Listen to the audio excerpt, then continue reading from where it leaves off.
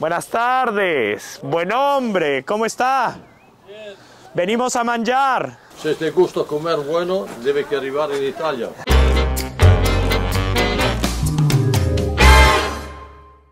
Lore nos va a enseñar a cocinar los mejores hongos del mundo. Vamos a hacer un asado. O sea, creo que va a ser como la verdadera experiencia italiana. Estoy en un pueblito a 40 minutos de Milán, tomando un tren muy rápido.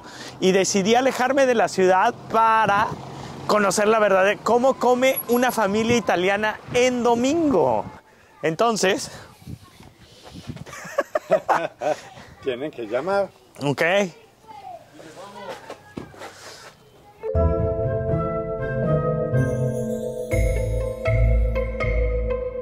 Vamos a la casa italiana, vamos a ver cómo es una casa italiana por dentro, si es como en las películas o es totalmente distinto.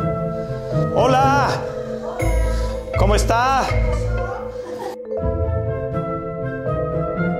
Estamos ya en la cocina cocinando con Lore, una auténtica italiana No, no. de toda la vida. No es conocida aquí en el barrio por su buena cocina y hoy nos dejó entrar a su casa para cocinar un almuerzo, comida a la italiana. Ciao a tutti quelli che mi conoscono e non mi conoscono. Sì. Prepariamo per la- fare la pasta, le tagliatelle con ragù alla bolognese, le tagliatelle con il sugo di hongo. Le poni un poquito di olio di oliva, Ok, aceite de oliva, aceite di oliva, un poquito di cipolla picada, cebolla picada. sì, e la carne molida. Ok. Se mezcla Esta es carne de res, carne de vaca. di vacca. Ajá, Sì. ok. Le poni il sugo di tomate. Este, ¿cómo lo hiciste? La receta. Questa ah, sta natural con le tomates che io tengo. Tomates de tu huerto. Sì,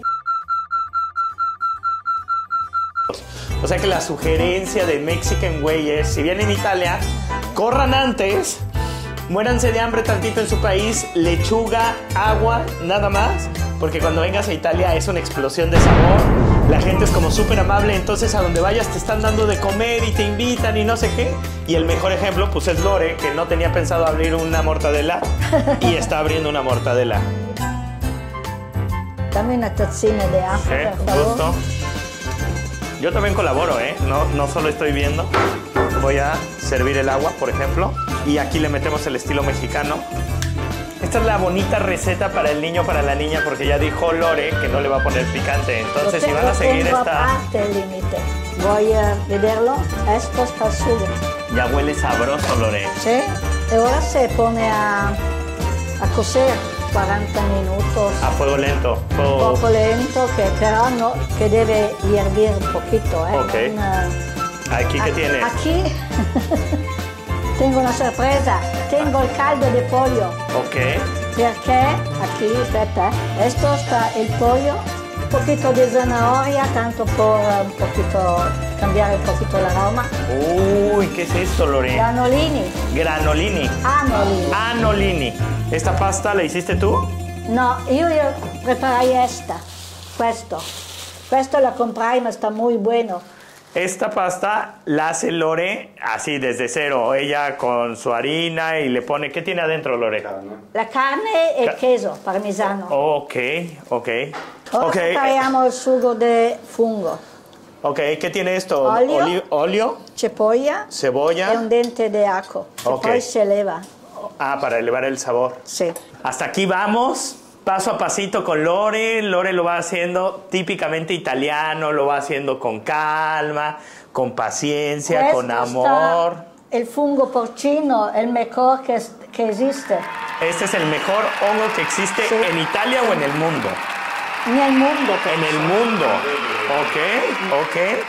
Si raccoglie nella montagna, si viene a casa, si tratta, si limpia, ma non con acqua, eh? Sin lavarlo. sin lavarlo, Sin lavar. poi si accorta e si pone al sol che viene secco.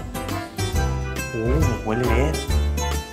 Questi qua in estate, quando Ah. sta a giugno, luglio, agosto, settembre, sulla montagna dove vive mia hermana. Ora poniamo il fungo, Sí, dale. Escuchen ese sabor. Si algo truena de esa forma, es que va a estar sabroso. Y si va cocinado por las manos de Lore, pues es garantía de que va a estar más bueno. Ajá. Non sta quasi pronto, eh, però provalo. A ver. No, questo dopo la lavo. Ah, sì, diretto? Sì, questo Ok. questa. Fungi porcini. El mejor hongo del mundo. Con tiempo. Sì, Ok. perché quando mi casai non stavo capace di Ah, tú cucinare. cuando te casaste no sabías. Poquito mi mamá, poquito su mamá, perché io vivevo con su mamá. Y luego que fusionaste las dos recetas, o sea, las Sí. recetas de tu mamá y la receta de la mamá de Franco. Oye, y esta agua es lo que le estás Questa poniendo sta l'acqua che stava al fondo. donde pusiste a remojar. Sì, Ok. sì, Porque el hongo fungi viene seco. sì. Se llama luganega, es una salchicha que está toda en el mismo eh, modelo. eh, Ah, sí, en la misma tripa. Y está rellena de carne de cerdo. está llena, rellena de carne de cerdo. Estas son salchicha, salamelle, porque tiene casi la misma pasta que se, que se usa para hacer el salami como carne fría.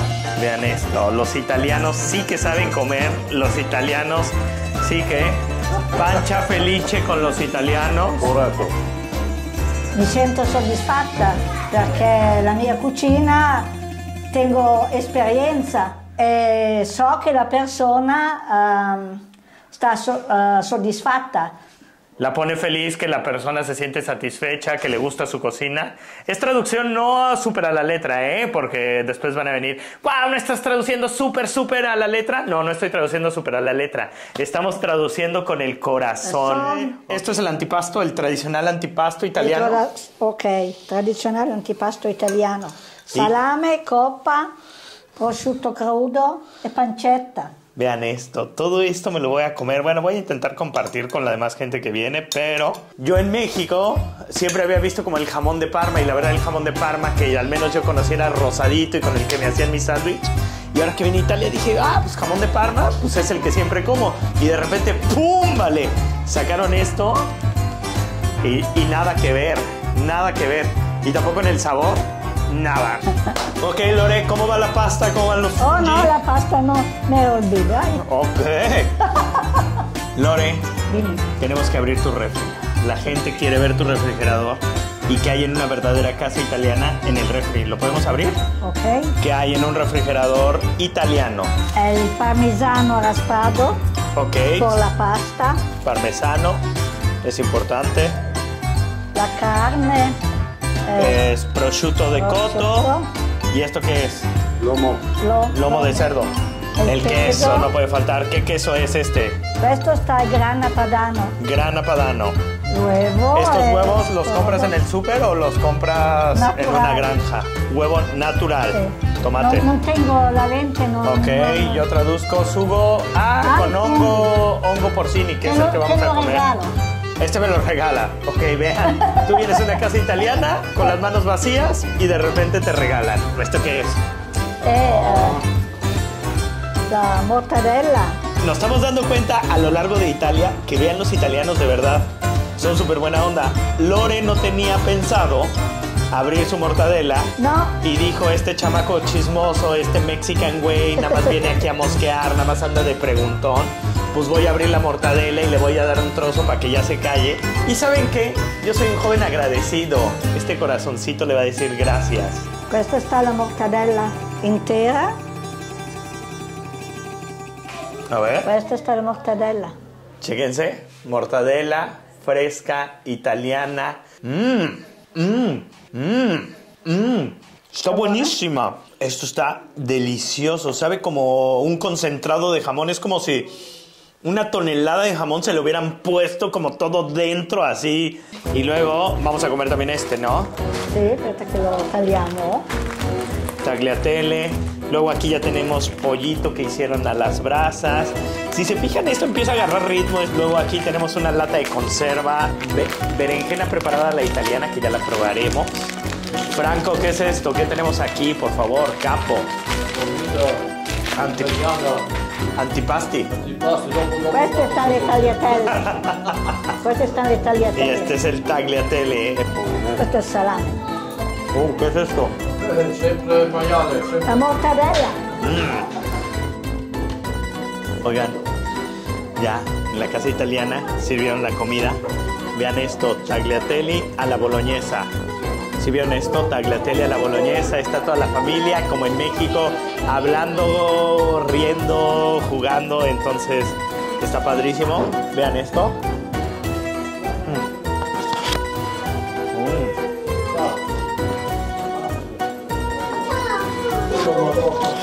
Vengan con la creadora de la pasta. Gracias por venir a mi casa. Espero lo- Te espero Siempre. otra vez. Y vean. Salud. Salud. Salud. Adiós.